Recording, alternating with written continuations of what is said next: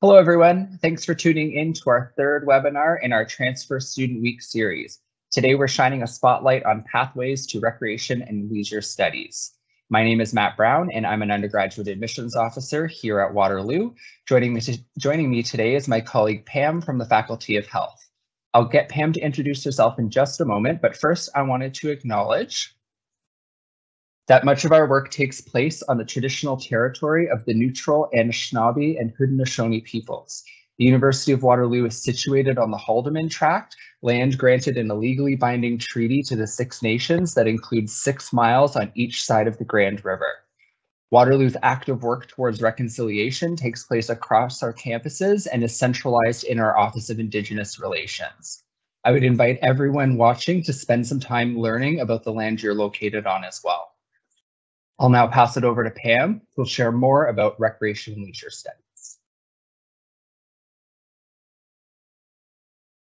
All right, thanks so much, Matt. I'm very happy to be here and share a little bit more about our three majors in recreation and leisure studies. So my title is the recruitment coordinator in the Faculty of Health, which basically means that I am the main contact for students interested in any of our majors that fall under this faculty, including the three majors under recreation and leisure studies.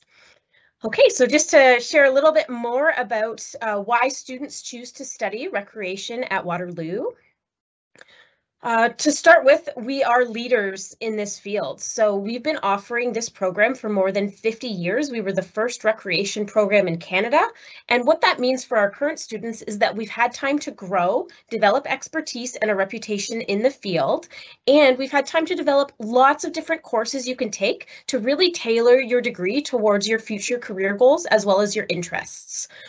At Waterloo, experiential learning is a cornerstone of what we have. So in addition to having co-op available for all of our recreation majors, uh, and in co-op, you'd alternate four months of study with four months of paid work in the field. We also have experiential learning built into many of our courses. So things like uh, practicum courses, internships, as well as courses that go on field trips or give you the opportunity to connect with industry partners. So that's something that really helps us stand out, as well as helps our students really understand what it's actually like to work in the industry and make those connections so that you're more successful when you graduate.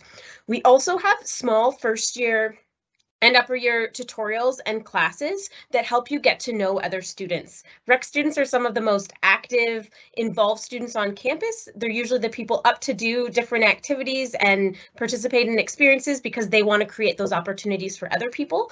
And so we like to make lots of opportunities for our students, and we do have a lot of transfer students in this program as well, to really make connections with one another and, and build relationships so that they're uh, combining a, a really great academic experience with a great social experience too. All right, so our three majors that students can choose from are our Bachelor of Arts in Recreation and Leisure Studies, a Bachelor of Arts in Recreation and Sport Business, and a Bachelor of of Arts in Therapeutic Recreation. You'll be put in the major you choose from day one in the program, but you do apply to Recreation and Leisure Studies and then pick which one of the three you'd want as your subject of major interest. A bit later, Matt will cover how to apply to the program, but I did want to note that you would apply to Recreation and Leisure Studies and your offer will say Recreation and Leisure Studies, but you'll be put in which of these three subject of major interests you pick right from day one uh, upon accepting your offer. Okay, so just to give you a little bit of information about the different majors. So in recreation and leisure studies, uh, that one lets you focus on improving health and well-being through essential leisure activities. So uh, it's it's the most flexible major, which basically means you can you have the most flexibility to really tailor the courses to what you want to do.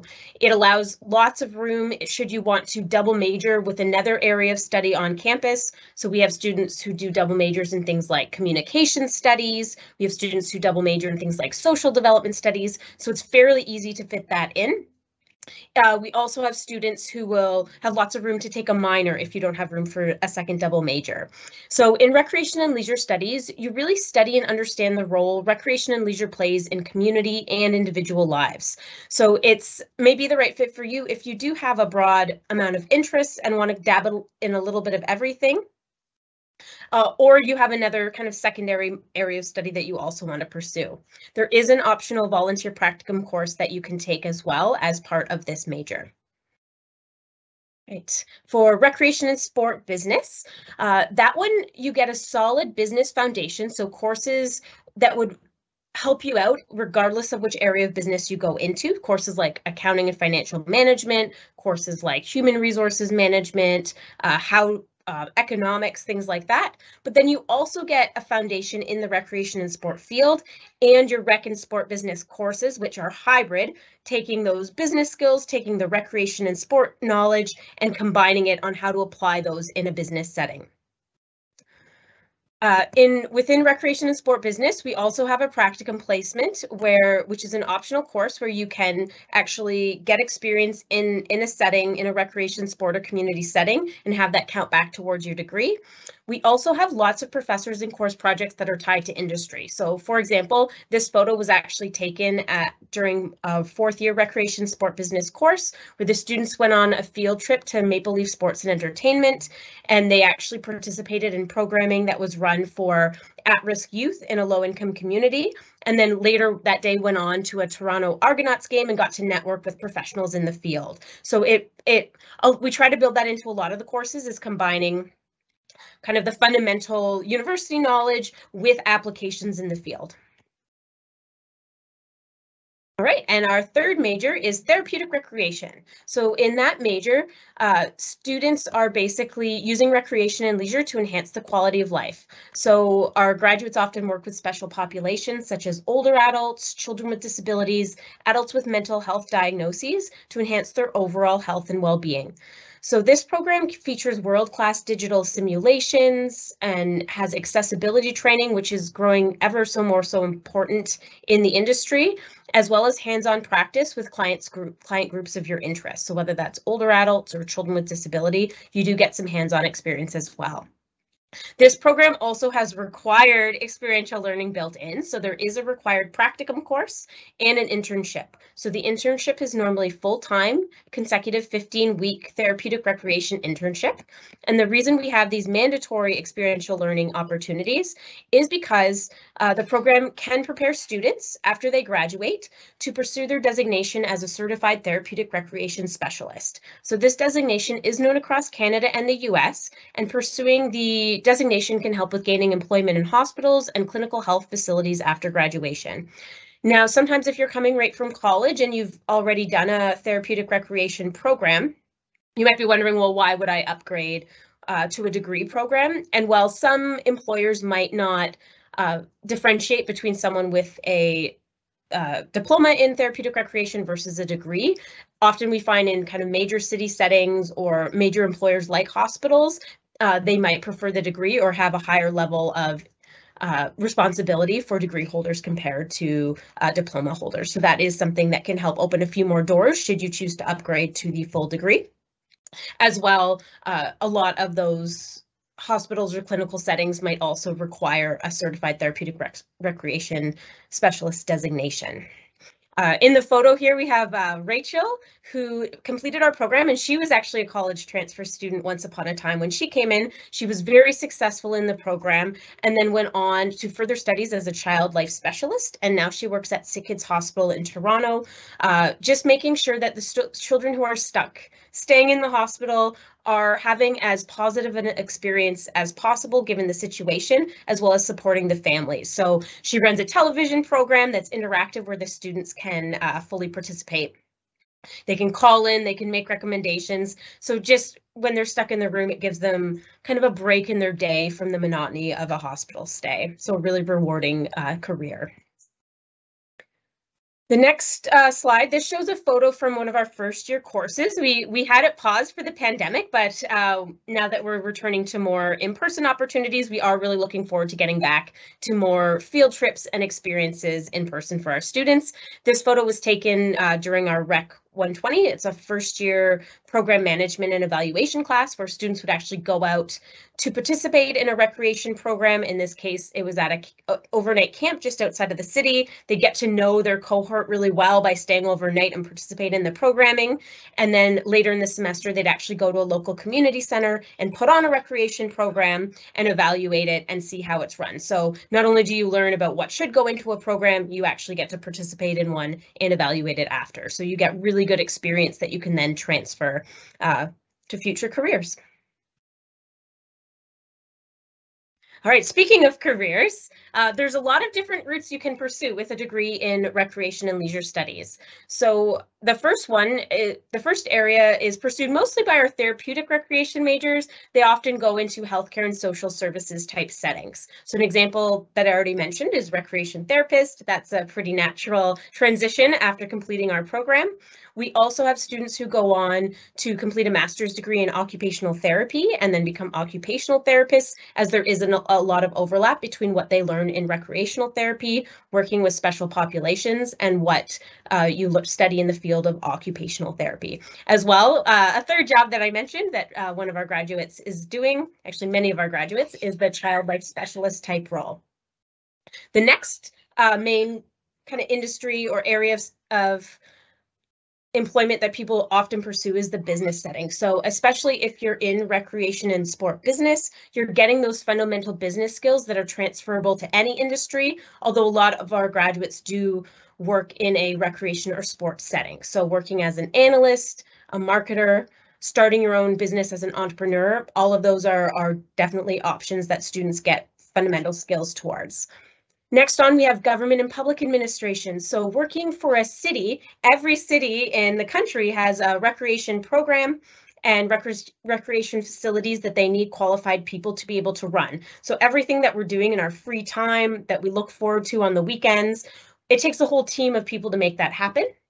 And so it the careers stemming from our programs can definitely uh, lead directly into some of those roles. So doing recreation programming, uh, working as a city recreation coordinator, managing facilities, and event manager. So during the pandemic, we were sad that a lot of community events were not happening.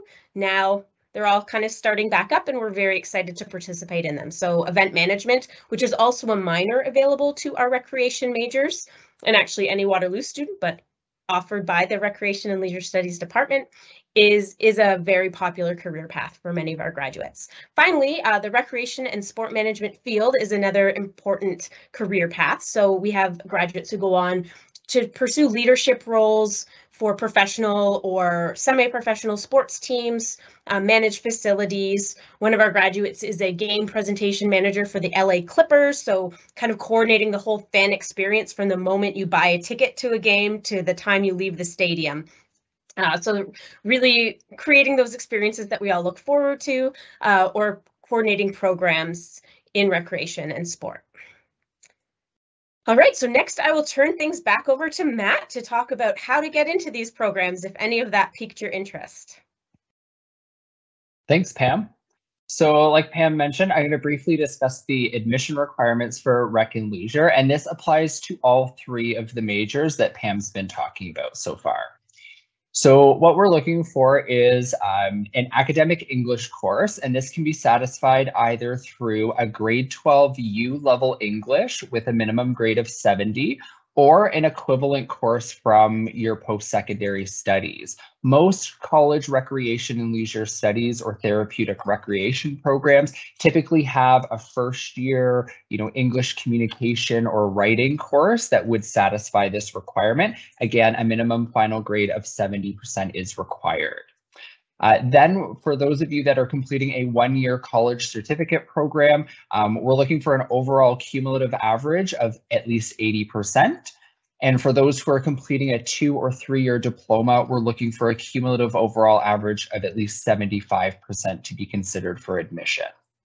Now, in addition to grades, there are some additional components and not all of them are required. So some of them do depend on your particular situation. So the admission information form or AIF, as well as your high school transcript, those are required for all students. So you would need to make sure that you do complete the AIF and submit your high school transcript because that is something that uh, the committee will look for when they're evaluating your application. We're also going to want to see the detailed syllabus for your post-secondary courses, particularly if you've taken any courses outside of your recreation and leisure studies program, because we want to make sure that we're evaluating all of your prior learning. You may be required to submit an English language proficiency test, um, and you can check out our website for additional information on that. So once you have been ass assessed and you've been admitted to the program and you confirm your offer, so you're going to join Waterloo in September, our next step in the process is to review your prior learning for transfer credits. So you can receive up to 10.0 units of transfer credit, which is equivalent to 20 Waterloo courses. A rec degree is typically made up of 40 courses, so this fulfills up to half of your degree. The number of credits you're eligible for will have an impact on co-op eligibility. Transfer credit transfer students who receive more than 13 courses or 6.75 units would not be eligible for co-op. We do recommend when you're applying that you still apply for co-op if you are interested in co-op, because if for, for some reason you're not admitted to co-op, like say you have too many transfer credits, we will automatically consider you for the regular stream of, of the recreation program. Once your transfer credit assessment is complete, we will send you a copy of it by email and we'll copy in your academic advisor, Sarah. Sarah is an amazing resource who's going to help you plan your next steps, including not only your fall classes, but the classes that will take, uh, take you through the rest of your degree. So how to apply? Um, applying is all done online through the Ontario University's Application Centre website. So that's ouac.on.ca. Uh, as a transfer student, you'll be completing the 105 application. And the process is going to be very similar to how you would have applied initially to college using OCAS. So as Pam mentioned earlier, um, you're going to want to select recreation and leisure studies as your program. And then from there, you'll be able to indicate which of the three majors really uh, piques your interest the most. The deadline to apply is February 1st, 2023. Depending on our volume of applications, we may extend that deadline, um, but that is the deadline that you should be aiming for is to apply by February 1st. Your documents are due by February 17th. And for some of you, I realize that you may be still enrolled in courses at that time during your winter academic term, but not to worry. Submit the grades that you do have available at that point. And then once your winter grades are available, make sure you follow up and submit those as well for consideration. And I'm going to pass it back over to Pam, who's going to talk a little bit more about staying connected and finding some finding out more information about REC. Thank you. Yep. So we have the contact information for different contacts at Waterloo that you may want to reach out to as you go through. Uh, I've listed here the admission officers, so they can be reached at health.admission at uwaterloo.ca should you have specific questions about admission requirements or the application process. If you have more questions about the program, where it could lead you, what courses you take, you can reach out to health at uwaterloo.ca or the extension listed. That actually is monitored by me primarily, so you can reach out to me and I'm happy to answer those questions. I'd also encourage you to visit campus if you're able to do so. Uh, we have lots of options for you to visit either in person or virtually. We have an open house in the fall every year, usually the first Saturday in November as well as mid-March. So those are a great opportunity to come and see the facilities that you'd be using as a recreation student. We also run tours of campus and of our Faculty of Health uh, throughout the year, most weeks of the year. So uh, you can go to our tours and events website just to see virtual campus tours, in-person tours, events coming up, uh, and see what works for your schedule that you can make it to.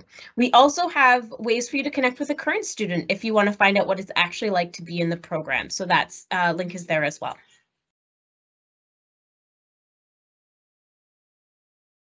Great, thanks, Pam. And that concludes our formal webinar on Pathways to Recreation and Leisure Studies. Thanks again for tuning in. Our final transfer webinar, a spotlight on pathways to social work, will take place tomorrow, so make sure you're checking your email. Take good care, everyone.